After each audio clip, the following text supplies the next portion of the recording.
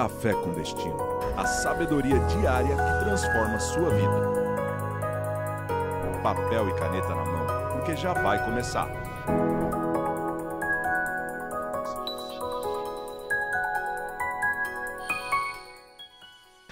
Bem-vindos mais um Café com Destino. Nós estamos essa semana com uma série que está ajudando muita gente. Qual o nome da série, Wesley? Como ser mais inteligente. Como ser mais inteligente. Você está conseguindo, Wesley? Tô, É, todos? Poucos. Todos nós, todos nós. Porque cada vez que a gente se expõe a conhecimento, como aqui no Café com Destino, mais inteligente a gente fica.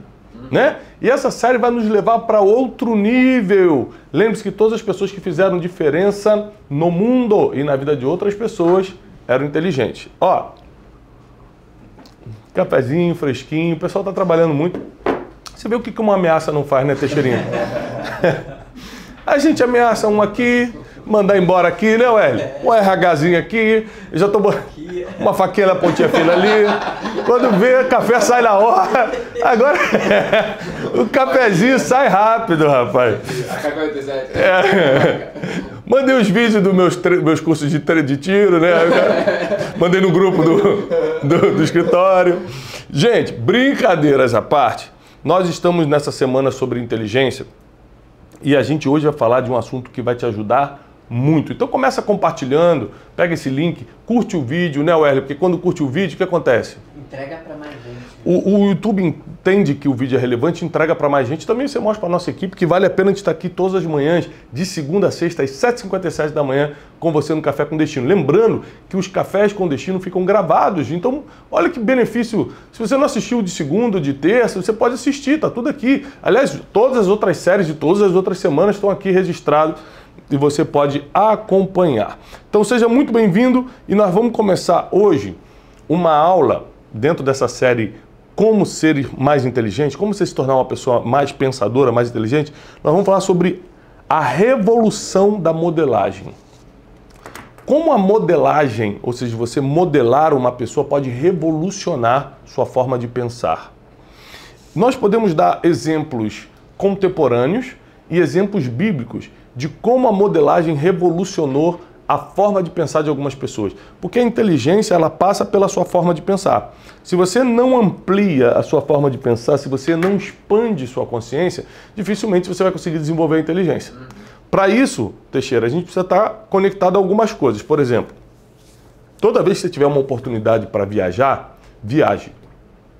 Nem que seja para a cidadezinha do lado. Tiago, eu não tenho condições de fazer uma viagem internacional para a cidadezinha do lado. Por quê? Toda viagem é uma expansão de consciência. Cultura nova, pessoas novas, algo novo. Sua mente está sedenta por absorver novas informações. Então você acaba expandindo a consciência, que é um dos caminhos para o crescimento intelectual, a expansão da consciência. Mas também quando você escolhe uma pessoa ou algumas pessoas para modelar, o que é modelar? Não é copiar, Wesley. É, é ter como modelo.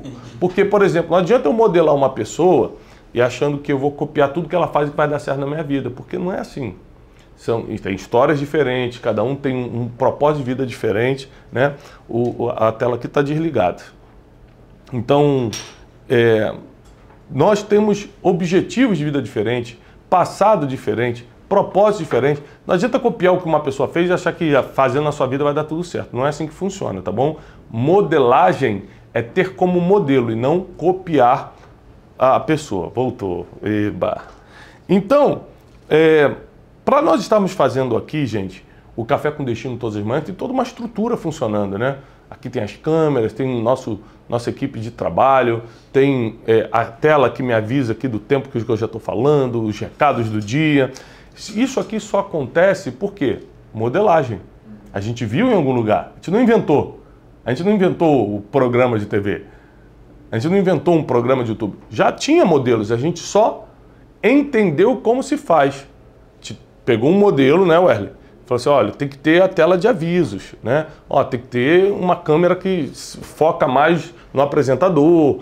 Isso tudo é modelagem. Ou seja, ter como modelo algo que você gostaria de se tornar ou fazer. Ter como modelo algo que você gostaria de se tornar ou fazer. O que, que vai acontecer contigo? Você vai desenvolver a tua inteligência com esse princípio da modelagem. Se a gente for falar, por exemplo, de exemplos bíblicos, um dos discípulos de Jesus, a Bíblia deixa claro que ele era iletrado. O que é iletrado? Analfabeto. Analfabeto. Ele não sabia ler nem escrever. Deixa eu levantar aqui. Eba, consegui. Você vê como é que é. Fácil. Questão de inteligência.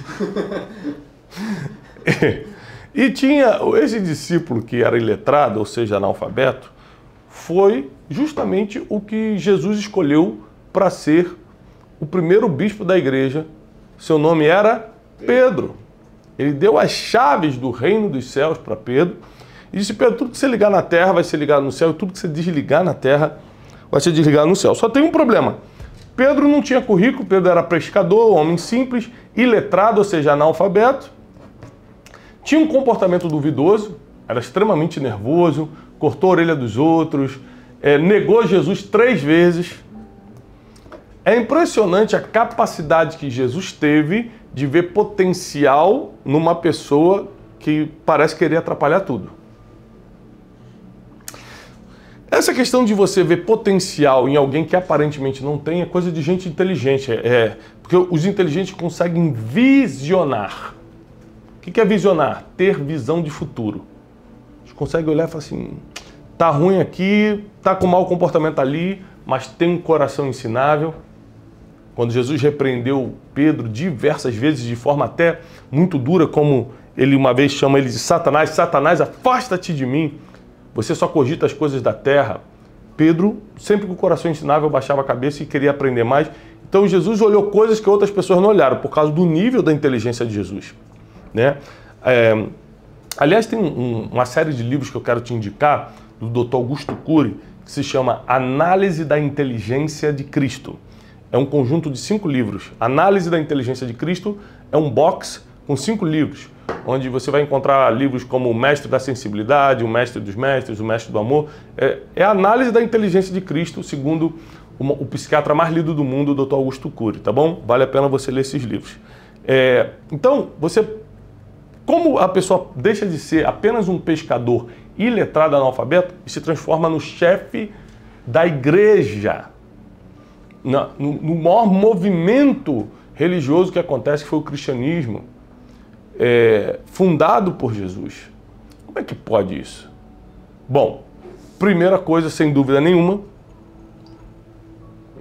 Pedro não sabia ler, então não foram os livros. Vamos fazer o que por ordem de eliminação? Você tem como evoluir seu intelecto pelos livros, né? Não foram os livros, no caso de Pedro, porque ele não sabia ler. Faculdade, conferências, também não fez.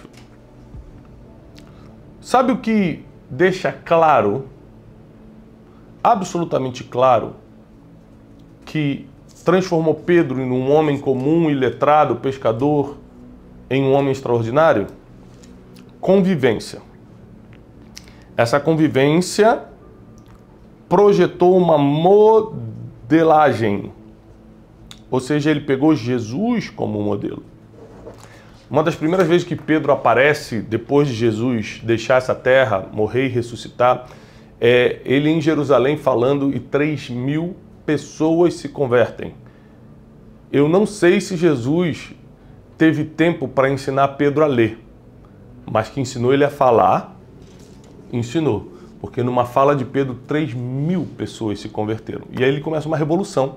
O cristianismo dá um start de uma forma muito poderosa porque um homem que não tinha capacidades aparentes, porque teve o um modelo de inteligência certo, conseguiu evoluir, crescer e fazer a diferença.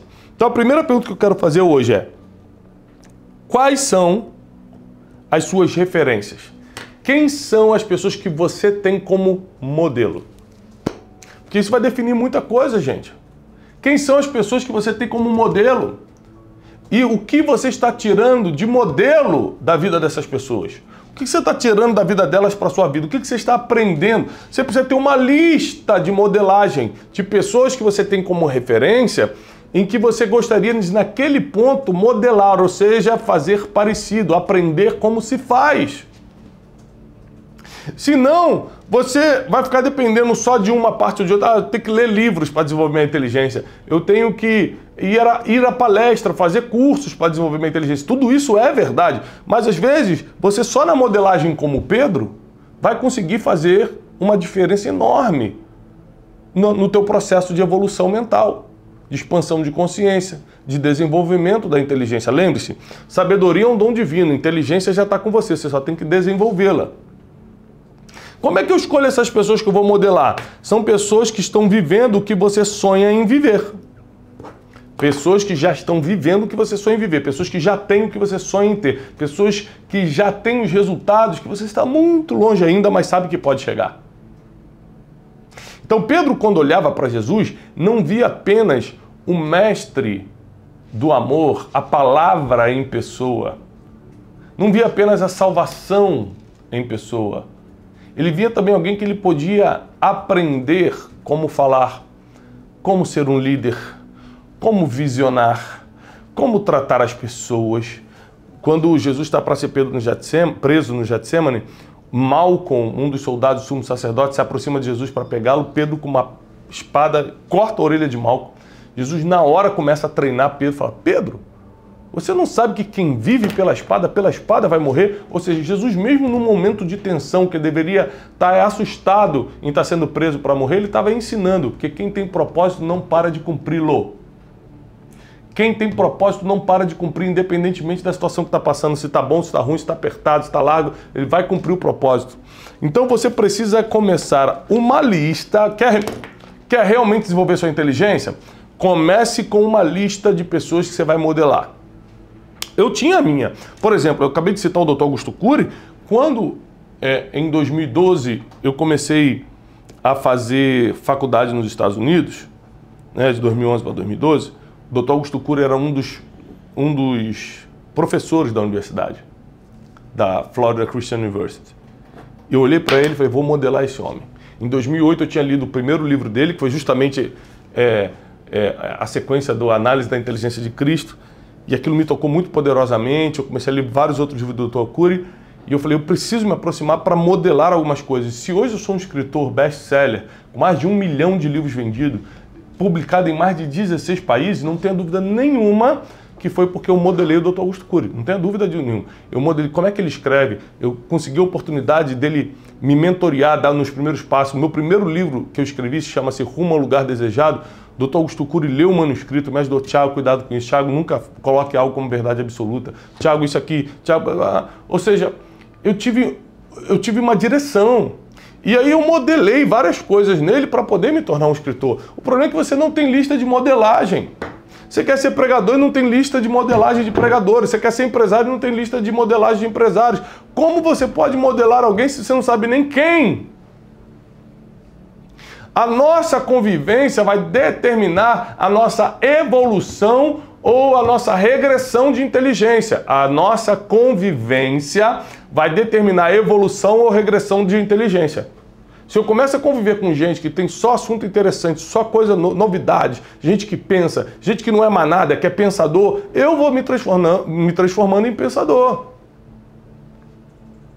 Então eu decidi é, ser acessível a todos, mas conviver com poucos. Isso aqui é, é forte, Teixeira.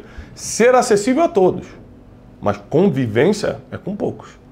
Porque eu preciso escolher muito bem com quem eu vou conviver. Precisa ser uma lista seleta. Porque se eu, através da modelagem, não desenvolvo a minha inteligência, meu casamento é afetado. Você imagina, eu já passei por vários problemas. Meu casamento está de pé. Primeiro, número um, misericórdia de Deus. Segundo, decisão minha e dela, baseada no amor que sentimos. E terceiro, modelagem. A gente começa a conviver, é, Wesley, com casais que passaram por isso e superaram. Falou, calma, cara, isso aí é só fase. Isso aí não é, não é o destino final de vocês, não. Aguenta. É porque eu acho que eu não amo mais. Vocês estão juntos há muitos anos. Vai ter dias que vocês vão achar que não se amam mais. É fase. Não tem como não se amar construindo tudo que vocês construíram. Olha os filhos, olha isso. Se a gente não tivesse modelado as pessoas certas, a gente poderia ter tomado decisões que teriam destruído a nossa casa. Financeiramente é a mesma coisa. Para eu estar tá vivendo hoje prosperidade financeira, não é só porque eu sou trabalhador, não. Também. Não é porque só eu usei de inteligência financeira, também, mas é porque eu modelei pessoas, ou seja, tive como modelo pessoas que, sem quebrar princípios, prosperaram financeiramente. Porque quebrando princípio eu não quero, não. Obrigado. Então a modelagem, ela pode ser o que está separando você de uma vida de inteligência. Pode ser isso que esteja atrapalhando. E outra coisa, hoje em dia você consegue modelar na convivência pessoal, mas também na convivência online. Você segue, segue uma pessoa de verdade, você acompanha os stories dela, o que ela publica, os vídeos do YouTube dela, você está convivendo, você está aprendendo coisas. Se, a, se, aquela pessoa realmente é de verdade e os resultados dela são verdadeiros, ou seja, se ela não é uma farsa na internet, essa convivência tua com ela vai te fazer evoluir, vai te fazer crescer mesmo online, ou seja, mesmo que presencialmente você nunca tenha estado com a pessoa. Lembrando que a maioria dos pregadores que me ensinaram, que eu modelei, eu nunca vi pessoalmente. maioria. Eu assistia pela internet. Por exemplo, quando eu comecei a pregar oficialmente em 2014, porque eu, como filho de pastor, sempre preguei na igreja para os jovens, né? Sempre era um treinamento, eu não sabia. Mas oficialmente, assim, como pregador agora, estou pregando. Foi em 2014 para 2015 é, eu escutava diariamente o pastor Castro Luna da Guatemala, só que eu não conhecia ainda. Eu conheci depois. Mas todos os dias eu me modelava, eu modelava o que ele fazia. Eu, por anos, assisti o T.D. Jakes, para mim um dos maiores pregadores da atualidade. Eu só o conheci cinco anos depois de eu estar escutando todo dia. Ou seja, não necessariamente você vai modelar alguém que conhece pessoalmente às vezes online, mas tem que ser a pessoa certa. Se isso aqui, tudo que eu estou te explicando até agora, está fazendo sentido para você, coloca o emoji do cafezinho. Fala, puxa, Thiago, agora estou entendendo. Eu estou convivendo com pessoas que não me fazem evoluir intelectualmente. Não fazem minha inteligência financeira, minha inteligência espiritual, minha inteligência emocional melhorar. Então, eu convivi por muito tempo com uma pessoa muito inteligente financeiramente e ele nunca me deu uma aula de finanças. Só na convivência com ele eu aprendi muito mais a lidar com o meu dinheiro. Só na convivência. A convivência ensina muito. Eu via, cara, essa pessoa nunca gasta com o que não precisa. Essa pessoa não compra nada para impressionar ninguém. Essa pessoa não está atrás de marca para ter uma aprovação dizendo eu uso marca tal. Ela está atrás de conforto, de algo que realmente sirva nela. Eu fui na convivência e falei, ah, entendi. Então é, ela criava múltiplas fontes de renda e poucas saídas, ou seja, tinha poucos prazeres e muitos objetivos. Falei, esse é o caminho. Na convivência eu fui aprendendo mais ainda a lidar com dinheiro. Se você andar com pessoas, conviver com pessoas de inteligência emocional avançada, você vai começar a ter inteligência emocional. Se você começar a conviver com pessoas que têm inteligência espiritual, pessoas que amam orar, pessoas que amam jejuar, pessoas que se deleitam na palavra de Deus, se você começar a conviver com pessoas assim, sua inteligência espiritual vai lá para cima, não tenha dúvida. O que é ruim, o que é chato para você hoje, vai virar prazer diário. Aliás, seus prazeres definem muito o tipo de inteligência que você tem. Como eu falei, você tem prazer na bebida, prazer na prostituição, prazer nos jogos, ou você tem prazer num clube de leitura, você tem prazer na família. Os seus prazeres definem o nível de inteligência, velho. Então nós precisamos, até mesmo nos prazeres, escolher bem porque as pessoas vão saber quem somos, qual o nível da nossa inteligência pelos prazeres que possuímos. É muito forte. Então vamos lá. Voltando a Pedro.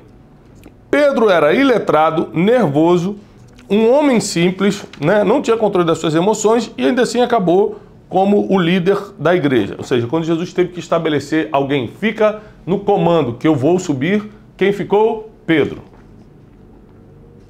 a convivência é mais poderosa do que a faculdade, do que o ensino formal. Pedro não fez faculdade de cristianismo, ele só conviveu com o próprio Cristo. Convivência é mais importante que o estudo formal. Então seja muito criterioso, muito criteriosa em quem você está convivendo e quem você coloca na lista de modelagem. Porque o que acontece hoje na nossa geração, um, um, muitos jovens sem direção, sem destino, fazendo besteira, é que eles modelaram pessoas que não tinham destino. TikToker, dancinha, gente que é piadista, gente que não tinha destino. Por isso que eles estão fazendo exatamente o que eles fazem. Nós precisamos modelar quem tem destino, quem tem futuro, quem sabe o que está fazendo. Principalmente, meu conselho, temos que modelar quem vive de acordo com o que está escrito e não com o que acha. Eu quero viver de acordo com o que está escrito e não de acordo com o que eu acho. Bom, é, a cada dia que passa a gente evolui mais aqui no nosso Café com Destino, aprendendo sobre inteligência. Só que é o seguinte, tem muita gente que você conhece, você está chamando ela de chata, que cara chato lá no trabalho, é que na verdade às vezes ele não é chato, ele não desenvolveu inteligência emocional para lidar melhor com os outros. Compartilha esse vídeo com ele. Aí você está falando, meu filho nunca aprende, meu filho não sabe o que é da vida, compartilha essa série com ele. Ah, meu marido está sempre estagnado, sempre no mesmo lugar. Compartilhe essa série com ele, porque às vezes o que as pessoas estão precisando é desenvolver a inteligência para saber o que querem, para se lidar, lidar melhor com as pessoas, para ganharem mais dinheiro, para se verem melhor, para melhorar a autoestima, para criar o seu próprio destino com Deus, para ter mais fé. A inteligência vai determinar tudo isso e eu me comprometo a essa semana toda. Nós já estamos no terceiro dia dessa série sobre como ser mais inteligente. Eu me comprometo essa semana toda a te ensinar a sair do zero da inteligência e a chegar a um nível onde os resultados falarão por si próprio. Ninguém consegue combater, ninguém consegue contradizer, ninguém consegue perseguir quem tem muito resultado. Pode até tentar, tô falando que eles não vão tentar, não. Só não vão conseguir. Porque teus resultados são a tua maior defesa. Teus resultados falam por você. Para isso você precisa desenvolver inteligência emocional, financeira, espiritual, intelectual, né, cognitiva. Você precisa, precisa fazer isso. É muito importante que você crie coisas através do Café com Destino, como grupos de WhatsApp, onde você vai passar, bota lá, faz os estudos do Café com Destino, onde você vai incluir seus amigos, seus parentes e vai passando os estudos diários. Todo dia na comunidade do Instagram, lá do Café com Destino, dos nossos alunos, a gente posta os mapas mentais, os resumos das aulas. Você pode fazer cortes do Café com Destino das partes que você mais gostou e subir nas suas redes sociais. Você pode marcar o que você anota todos os dias, tirar foto, colocar nos stories. Tem tantas formas de você distribuir esse conhecimento, ajudar pessoas a saírem da ignorância e alcançar um nível de inteligência. O mundo melhora quando as pessoas melhoram. Eu sempre deixo claro que eu não tenho esperança nesse mundo, mas eu tenho muita esperança nas pessoas que estão nesse mundo. Acho que nós podemos melhorar muito, nós podemos desenvolver nossas inteligências. Lembra que a inteligência não é uma coisa, é, é múltipla inteligência financeira, inteligência emocional, inteligência relacional, inteligência espiritual, inteligência cognitiva, todas as áreas da, da inteligência nós precisamos desenvolver. Então, o, hoje, o que eu mais quero que você grave na aula de hoje é eu preciso ter referências, eu preciso ter uma lista de é, modelagem, eu preciso ter modelos, pessoas que eu vou olhar e falar é mais ou menos isso que eu quero e você não vai copiar, você vai ter como referência ter como referência. Então é, é muito importante que você saiba que no mundo de hoje, sem referência, sem modelo, fica difícil a gente avançar com inteligência. Porque você não sabe nem definir o que é inteligência se não tiver um modelo do que é. Então eu quero te incentivar como meu aluno, como minha aluna, a fazer três coisas agora. Primeiro, você vai colocar agora nos comentários de qual cidade ou país você está falando. Eu quero te conhecer agora. Você que já é aluno, você que está começando essa semana, Tiago, sou aluno novo, sou aluna nova. Coloca agora nos comentários, sou aluno nova e cidade está falando. Tiago, já sou aluno antigo e cidade está falando. Segunda coisa que eu quero te incentivar agora, a curtir esse vídeo. Quando você curte o vídeo, você ajuda a mensagem a se espalhar. Se você não está inscrito nesse canal, inscreva-se nesse canal, ative o sininho das notificações. E lembre-se de todas as nossas outras programações. Ontem, terça-feira, teve Brunecast. Se você não está inscrito no canal do Brunecast, gente, o Brunecast de, é, a partir de agora para o fim do ano e para 2024, que a gente já vai estar com a nossa Terra Prometida na mão, nós estamos na construção da Terra Prometida, que é a sede dos nossos estúdios. É, o Brunecast vai crescer tanto, vão ser tantos convidados, a gente vai ter mais programas diários, a gente vai ter o Pílula de Sabedoria, nosso talk show, vai, vai ser tanta coisa nova. Eu estou me programando para que você tenha estudo, conhecimento, sabedoria à vontade a partir de 2024. Mas 2023 já tem muita coisa para a gente fazer. Então distribui esse conhecimento. É, teve Brunecast ontem, todo domingo tem pregação. Se você não assistiu a pregação de domingo, 10 horas da manhã, assiste. E amanhã eu te espero às 7h57 da manhã aqui no Café com Destino. Vou deixar um link aqui também no, na descrição para você pegar nossa agenda. 3 e 4 de novembro eu estou em Boston com o Método Destiny, é um curso, uma imersão 20 horas comigo e com Flávio Augusto da Silva falando sobre princípios milenares de empreendedorismo na América, vai mudar sua vida, Método Destiny, em Boston. Dia 11 de novembro eu estou em Portugal com a Noite de Destino, uma palestra de duas horas lá no Coliseu dos Recreios. 4 mil pessoas vão se reunir para receber destino profético e alinhamento de sabedoria para suas vidas. E também nós temos o Método Destiny aqui em São Paulo de 23 a 25 de novembro. Todas as informações vão estar aqui embaixo, tá bom? Eu desejo paz e prosperidade e até amanhã, às 7h57 da manhã.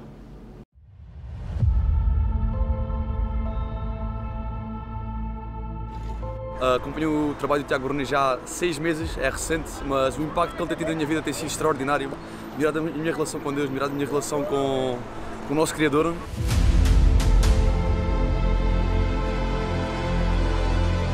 Tiago tem uma chamada e nós acreditamos que essa revelação de Deus que tem-lhe dado, nós acreditamos também vai atrair cada vez mais pessoas uh, em toda a parte do mundo.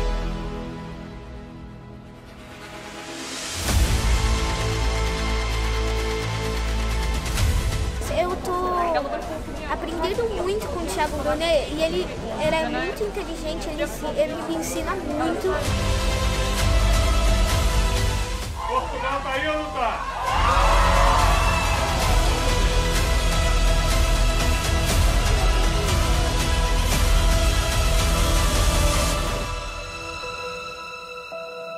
Através eh, do Tiago, nós definimos o nosso propósito de vida como um casal e isso tem nos ajudado no nosso ministério.